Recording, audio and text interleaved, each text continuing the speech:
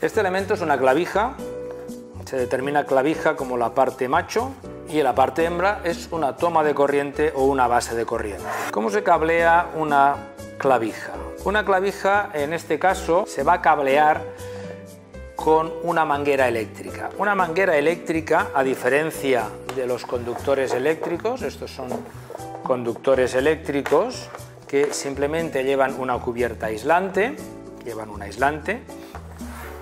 Cambio, una manguera lleva una, una cubierta en cuyo interior hay cables con aislante eléctrico, conductores eléctricos.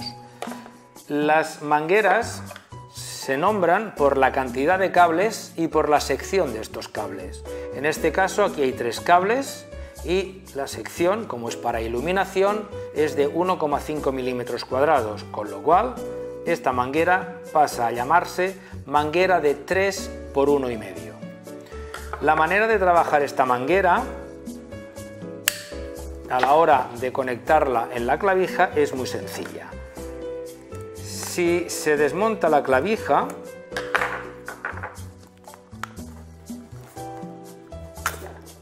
tiene un capuchón protector y que sirve además para la extracción y la conexión y en el interior aparece una brida que es esta de aquí y ahora en cuanto la abra se verá su objetivo que es simplemente sujetar la manguera para evitar cuando se le da un tirón en lugar de desconectar por el capuchón, que en este tirón no se desconecte eléctricamente los cables que van a venir a estas tres conexiones.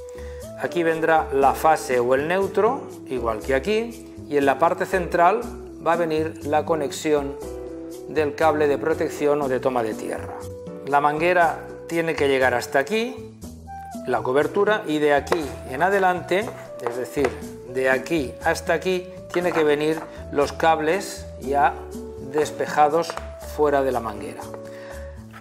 Técnicas para sacar los cables del interior? Bueno, hay una que la que conoce la mayoría de gente, que consiste en ir dando pequeños pellizcos, pequeñas mordidas alrededor de la cubierta, hasta que al final la cubierta se extrae.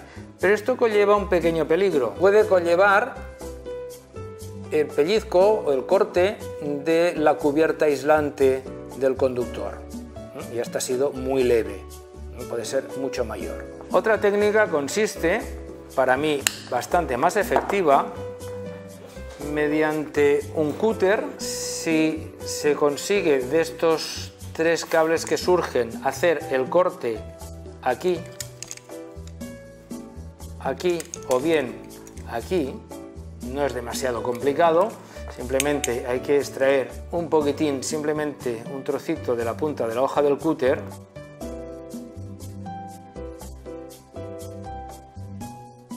ahora se retira la cubierta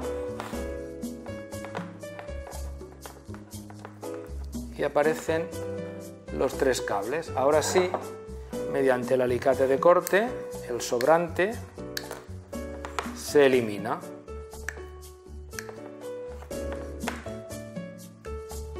Y están los tres conductores eléctricos en perfecto estado sin ninguna muesca de corte como la anterior. Importantísimo, no olvidarse el capuchón, porque si no se olvida el capuchón habrá que volver a desmontar todo el conexionado.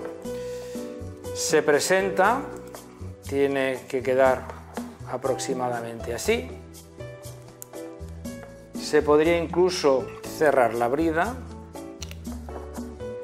Este es el aspecto donde se ve que la manguera está totalmente apretada dentro de la brida y aquí tenemos ya los cables para hacer la conexión correctamente. El cable no tiene que quedar tibante, siempre ha de quedar un poco sobrante, que sobre un poco de cable vamos a hacer una prueba.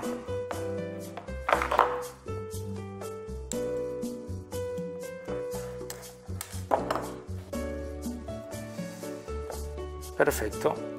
¿por qué he dejado tanto cable pelado? porque ahora lo voy a doblar por la mitad consiguiendo así aumentar mecánicamente su resistencia de contacto, su resistencia mecánica y un mejor contacto eléctrico. Así es como tiene que quedar.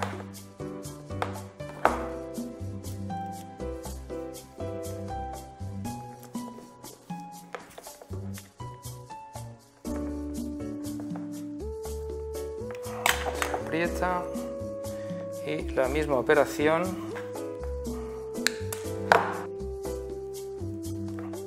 es importante introducir el cable por la izquierda del tornillo. ¿Por qué? Porque en sentido de apriete lo que va a hacer el cable es girar y apretarse bien alrededor del tornillo. En cambio, si lo introducimos por la derecha, en el sentido de apriete estaríamos escupiendo el cable hacia afuera y pudiendo perder la conexión.